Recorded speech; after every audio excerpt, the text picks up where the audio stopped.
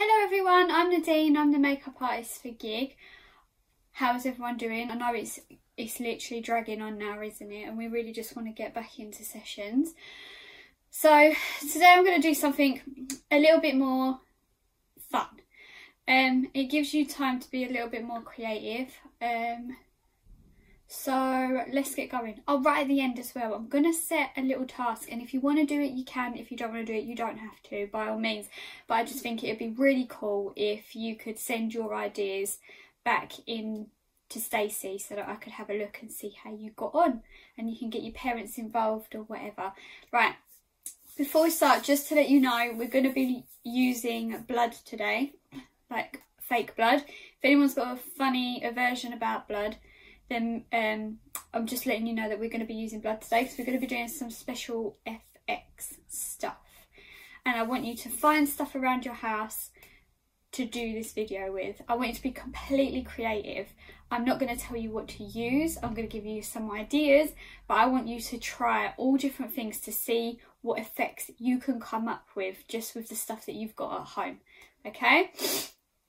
Right, the first thing I'm going to do is I'm going to give you a blood recipe. It's a really easy recipe. You can get um, your ingredients from the shop and it's mouth safe and it's food grade. So what you're going to need is maple syrup or golden syrup or honey.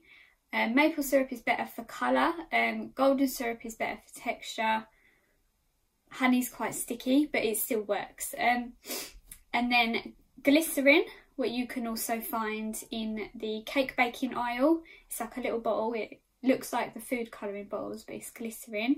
And then you can get red food colouring, blue food colouring, green food colouring, and black food colouring. That was a mouthful.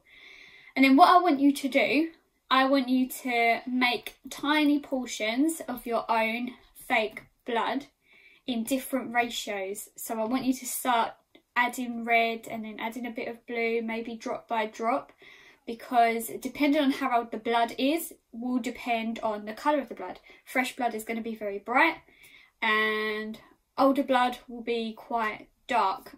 I'm going to be using one that's quite dark. And what you can also do is there's a type of blood, I'm going to show you just so let you know. And it's called wound filler and it just looks like raspberry jam, if I'm honest and it's very jelly like but it goes into cuts as if it's kind of congealing. And I want you to work out how you can try and make some wound filler blood some fresh blood. So this is very runny let me show you. This is very dark as well try and look at the consistency. So it's not running too much but it is runny blood. Don't look at my nails i can't help it they're rubbish. Okay? And then let me show you the wound filler on the high end. I'm just going to get my little spatula.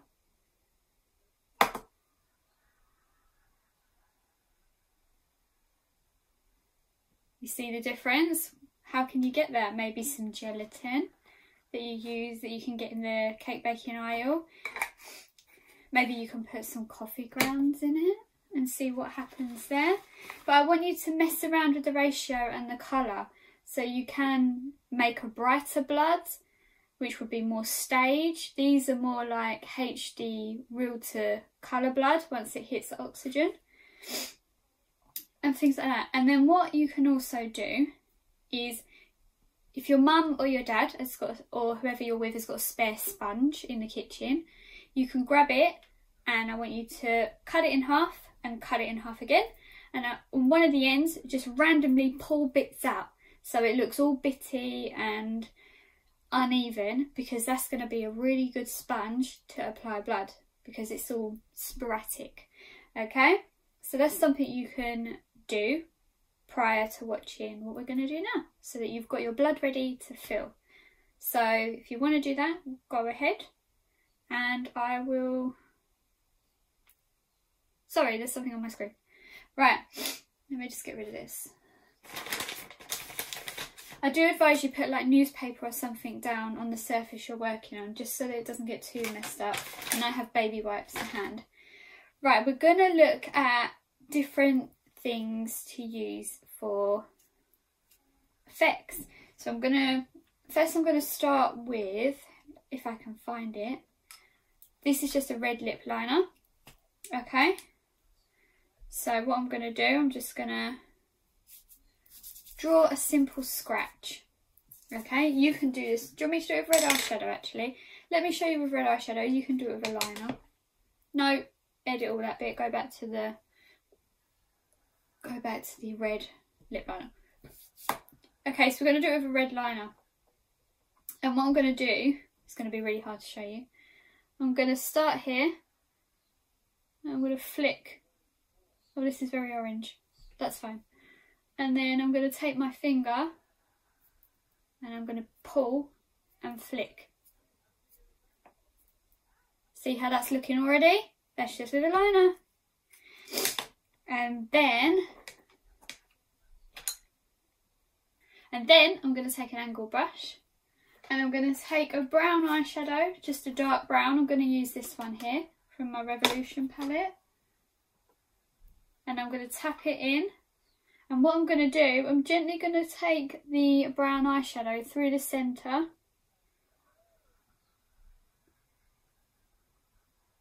Barely touching it, just to give it some definition. If you've got a deeper red pencil, that might work even better.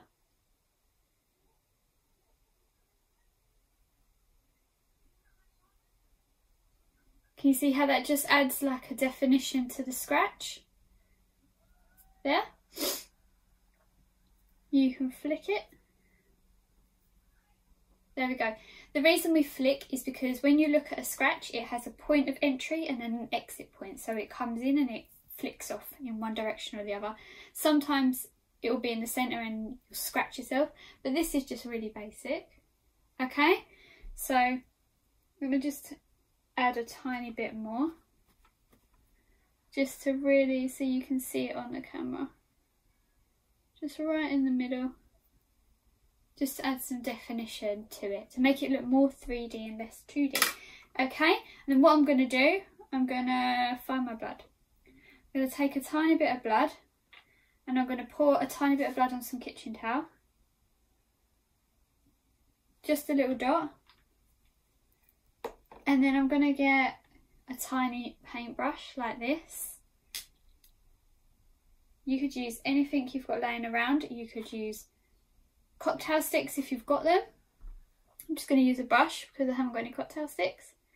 And I'm just going to gently run a little bit of blood through the cut because we don't want it bleeding everywhere. It's just a scratch.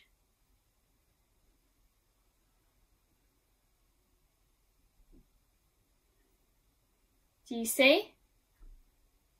Simple, and it's just stuff that I've got indoors laying around. And with, if I try and show you with this, I don't think this is going to be very good because it's a little bit thicker than a cocktail stick. But you could apply the blood with a cocktail stick, just a little tiny bit. Like so. Can you see that? Yes, yes, yes, yes. The reason we um, learn these basic effects, kids, is because, let me rub that off, sometimes on stage, part of the act might have an injury or something and we need to know how to just do a really quick, really easy, get it on scratch.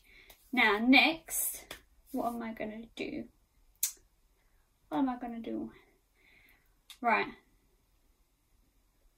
Let me hang on. Okay, so next we're going to look at how to create a scratch using a sponge.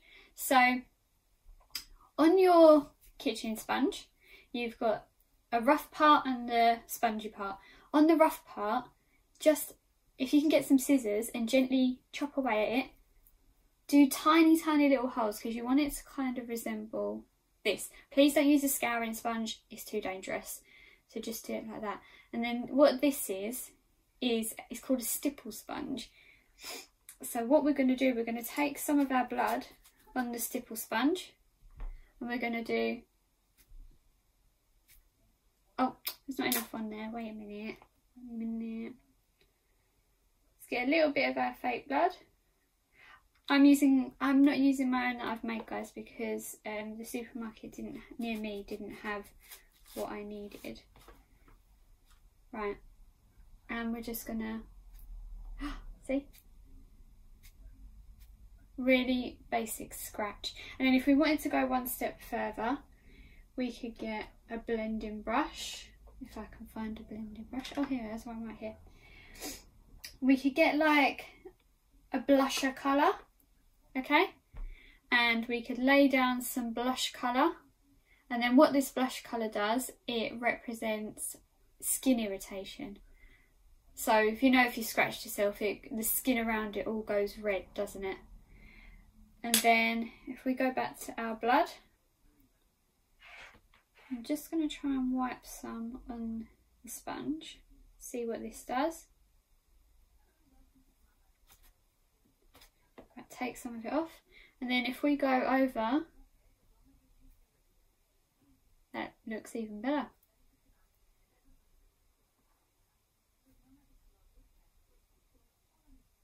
Can you see?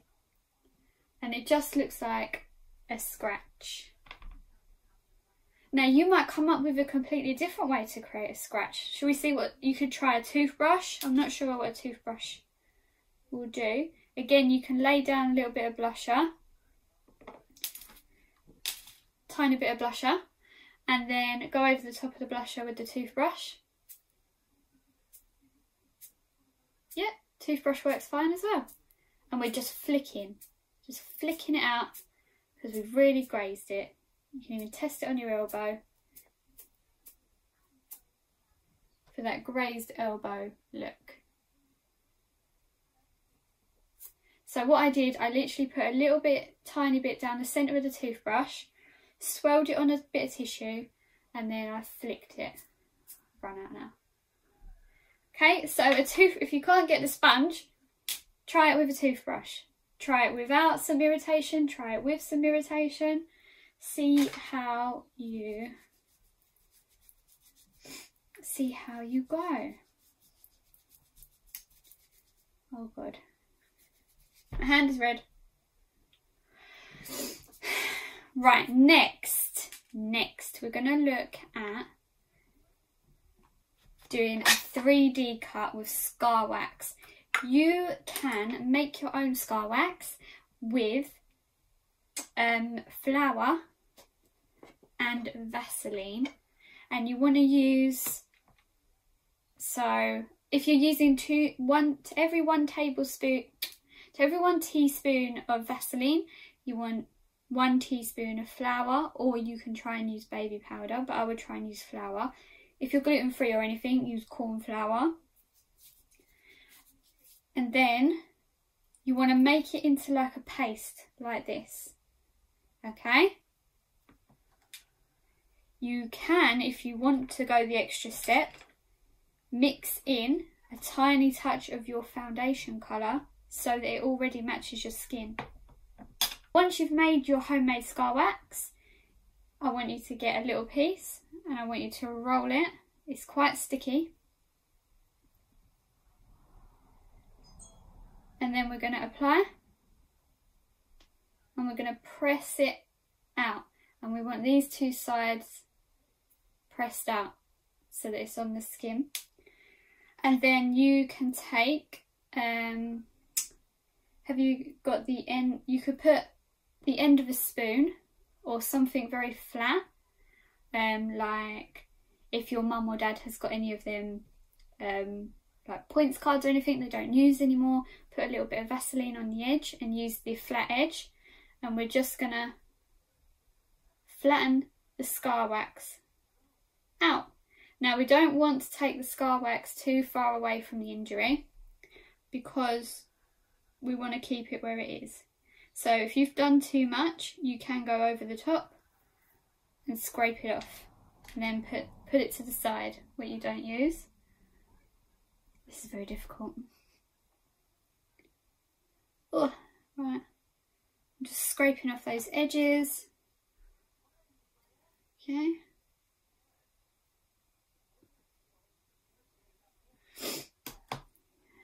Right. Right, now I've made my scar wax hole here.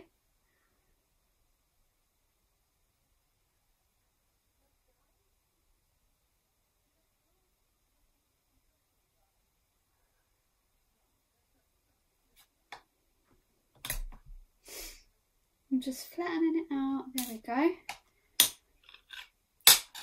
Right, once your scar wax is on, you see? You want a powder. Now you can use baby powder. If you've got corn flour, you can use a bit of corn flour. But you can just use baby powder. I'm just going to use the powder that I've got here, which is not the right one, so I'm not going to use that at all. Huh? Let's find another. Just make sure it's translucent or your skin colour. And I'm going to take just a cotton round like this. I'm going to take a touch of powder and I want to powder all over that, being very gentle, not to ruin the shape of it. Now if you look from the side, it doesn't really raise up above my hand. That's what's going to keep it looking realistic. You want to use powder to powder it in because it's very sticky, it'd be hard to paint. And what you can do, you can use lipsticks, you can use eyeshadows. I'm going to use an eyeshadow again, a blush toned eyeshadow, just to create that irritation. I'm going to be a little bit gentle because I don't want it to lift off the skin. Can you see what I'm doing? And I'm just taking that around the edge to create some irritation. There.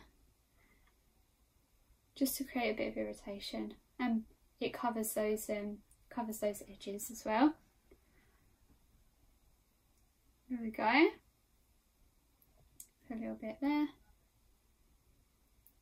and then what you could do, like I said, you can get your red lipstick or you could carry on with eyeshadow.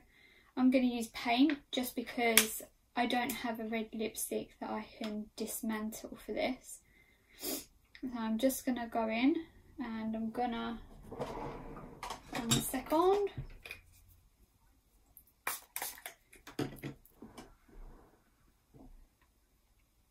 I'm just going to go in I'm just going to paint inside. Just to create. And I'm going to do on the outside as well.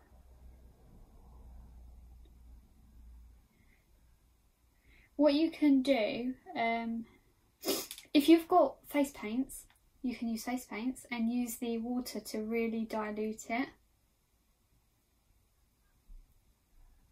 We just want to colour that Get some of that red tone on there.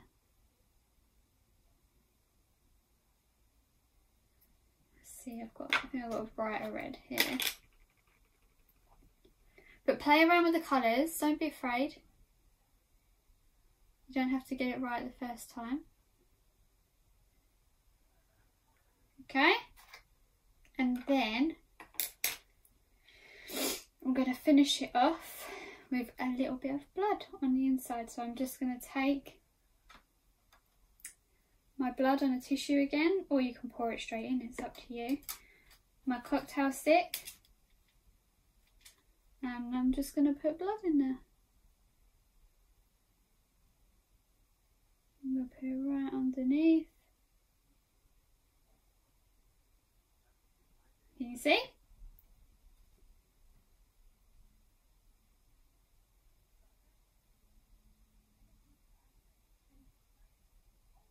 And then we can go back to our toothbrush and gently oh picking up stuff fluff. Gently. Oh don't worry if it comes up by the way just press it back down. Just be gentle about it. And we can gently tap that blood around. Can you see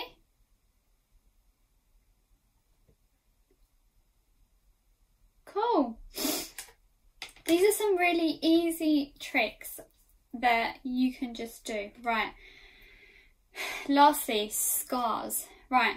if you've got like a flesh toned lip liner that's more pinky tone, you can literally just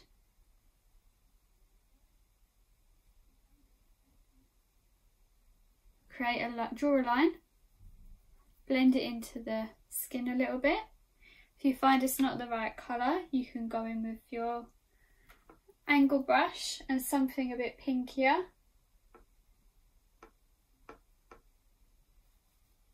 And then just tap, tap in the line the same way we did with the scratch. And we just get more of a scar look about it. So it looks like it's healed. Excuse my nose, I've got terrible hay fever. Cool? So they're really, really basic and they're really easy. What I want you guys to do is I want you to create a scenario. This is if you want to. No, let me start again. If you guys want to, I want you to create a scenario and send it in to Stacey. So do it on yourself, on your mum, on your dad, on your sister, on your brother, whoever will let you work on them while you're in lockdown. And I want you to literally on their face or on their arm, whatever, create a scenario. And by scenario I mean maybe they've fell over and this is their injuries from falling over. Maybe they've fell off their bike are they going to have knee injuries, shin injuries, lots of irritation? I also want you guys to come up with bruises. So, with your sponge again, on the spongy side, when I told you to pull it out, that would be really good for creating bruise looks. Now, the colours you need are like yellows, purples, little tiny bit of black, but not too much. Um, browns, a bluey tone, all different kind of bruises. So come up with your own style of bruise. If you can, try and look at references. Like if you've got a bruise yourself, like I've got a cut here, so if I wanted to do a scar, I could look at that as a scar. If you've got bruises yourself, you can look at your own bruises. It's great and I want you to have a go and then if you want to do this please send all your looks in to Stacey and then Stacey can send them on to me because I would love to see your scenarios and what you've created using all these little techniques. Go crazy with what you use as well. If you want to use lipsticks, use lipsticks. If you want to use eyeshadow, if you want to use eyeliners, if you want to use lip liners, anything you've got indoors. Um, go for it. If you create the different types of blood, let me know how you made it. Let Stacey know so that she can tell me because I am so excited and I think it is something for you guys to do indoors that we're going to be doing this in sessions anyway. So I would love to see you get some practice. Okay? Alright, thank you so much for watching today's video. I can't wait to see your scenarios. I'm really excited because this is my favourite and uh, I will hopefully see you all very soon. Get going. See you later.